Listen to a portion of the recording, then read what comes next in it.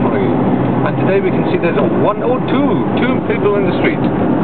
Two people in the street and it's a chock-a-block and there seems to be a bit of a queue at the Spar today, yes, they all been there for the half-price tea bags.